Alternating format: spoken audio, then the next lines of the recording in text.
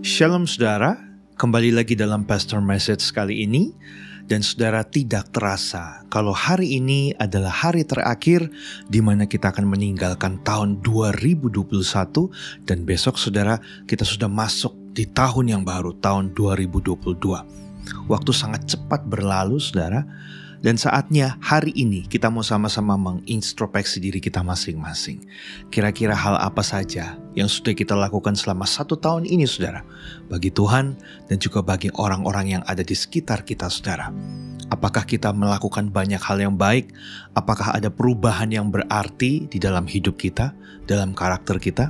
Atau jangan sampai kita masih menjadi orang yang sama saudara karena itu saat ini sama-sama kita mau belajar dalam waktu yang singkat ini saudara, supaya kita bisa mengerti dan kita siap untuk menghadapi tahun yang baru tahun 2022. Dan biasanya saudara pada waktu akhir tahun orang akan berlomba-lomba membuat yang namanya resolusi.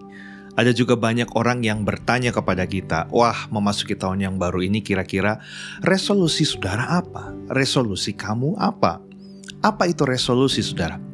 Resolusi adalah sebuah keputusan, sebuah tekad, bahkan dikatakan sebuah tuntutan untuk kita bisa menjadi seperti apa yang kita inginkan di masa ke depan. Berarti semuanya kalau kita lihat sudah resolusi yang kita buat kebanyakan itu hanya tentang diri kita sendiri. Berbau dengan apa? Kenyamanan diri. Ada orang yang mempunyai resolusi bahwa tahun depan semoga gaji saya bisa lebih tinggi lagi pendapatan saya bisa lebih banyak lagi. Tahun depan berharap supaya pelayanan saya lebih luar biasa lagi, jam terbangnya semakin banyak lagi. Tahun depan supaya saya bisa memiliki rumah. Tahun depan supaya saya bisa memiliki mobil, memiliki kendaraan yang lebih baik lagi. Atau mungkin orang tua-orang tua saudara, tahun depan saya ingin melihat anak saya mungkin menikah atau juga melahirkan anak. Jadi saya akan menjadi seorang opa oma. Kita punya cucu. Nah, saudara perhatikan, resolusi-resolusi yang kita buat sebenarnya itu hanya untuk kesenangan pribadi setiap kita, supaya kehidupan kita terlihat lebih oke okay dan juga kita merasakan aman dan nyaman, saudara. Namun, saudara, saat ini kita perlu sadari bahwa resolusi-resolusi umum seperti itu semuanya akan berlalu.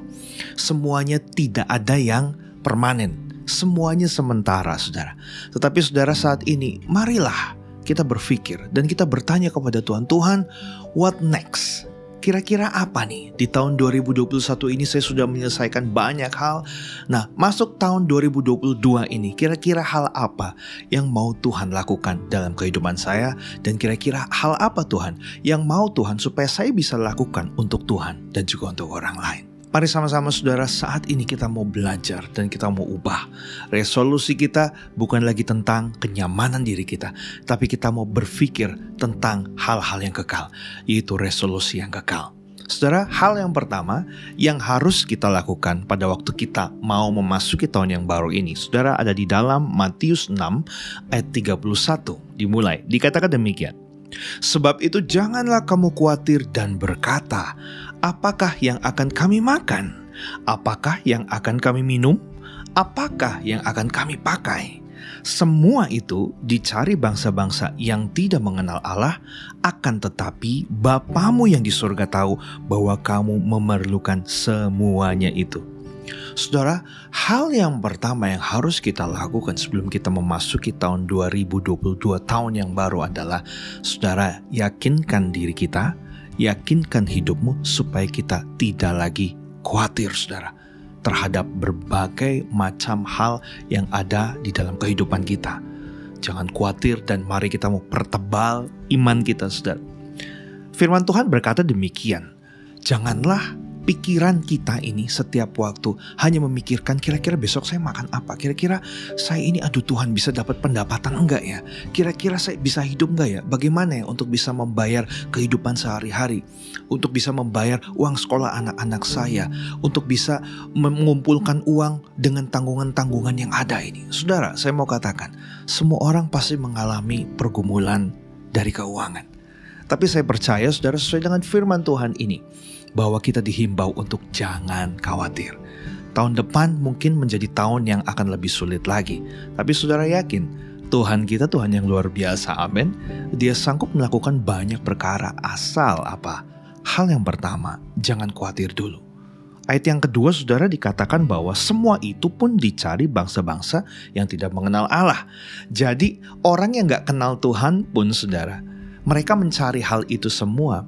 Tetapi kita punya Bapa di sorga, dikatakan dalam firman Tuhan ini bahwa Bapa kita yang di sorga itu tahu persis apa yang kita butuhkan. Karena itu jangan khawatir saudara, pertebal iman kita. Dengan apa? Exercise setiap hari, iman. Justru dengan masalah-masalah yang ada, itu membuat kita menjadi terlatih.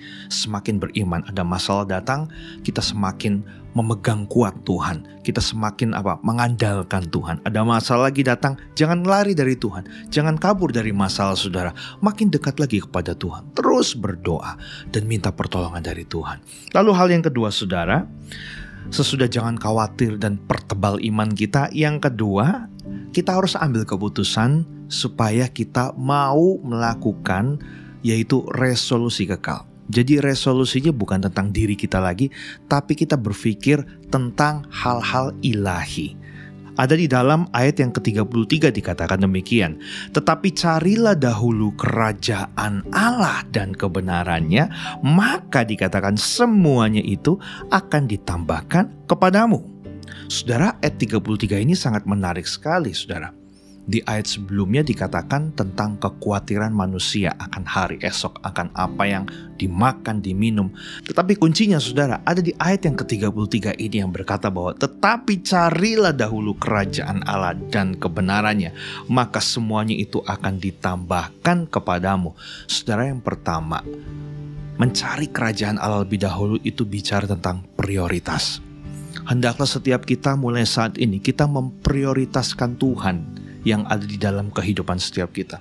Jangan lagi kita prioritaskan kekuatan kita, pekerjaan kita, hobi kita, saudara, tapi kita prioritaskan Tuhan di dalam kehidupan setiap kita. Dan yang kedua, saudara, ini bicara tentang apa? Tentang otoritas daripada Allah. Saudara, anak-anak di atasnya ada otoritas, yaitu orang tua. Lalu istri, di atasnya istri ada otoritas lagi apa? Suami, saudara.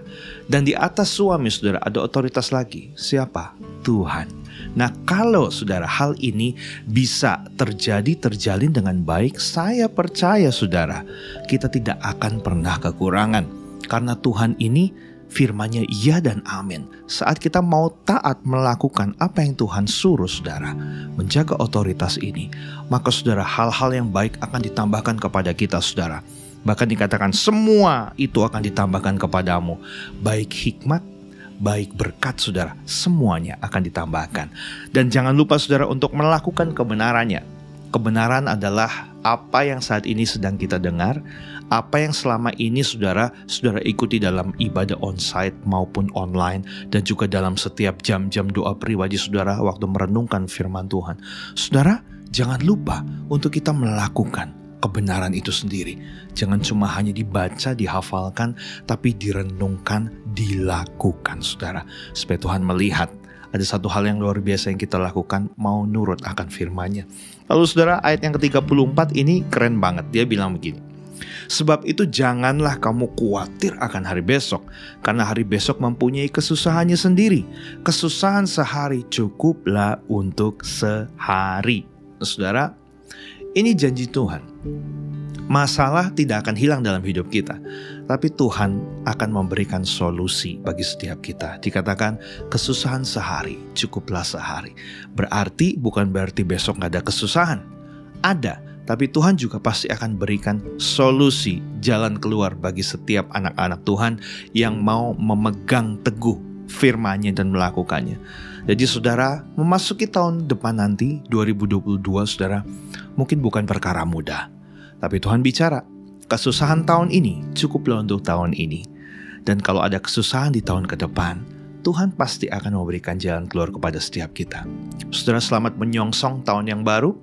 Jangan khawatir, pertebal iman kita dan mari sama-sama kita mau lakukan resolusi kekal, yaitu apa? Mengupgrade kerohanian kita, karakter kita, supaya kita hidup berkenan di hadapan Tuhan dan saya percaya Tuhan akan menyediakan apa pun juga yang kita butuhkan. Tuhan Yesus memberkati setiap kita.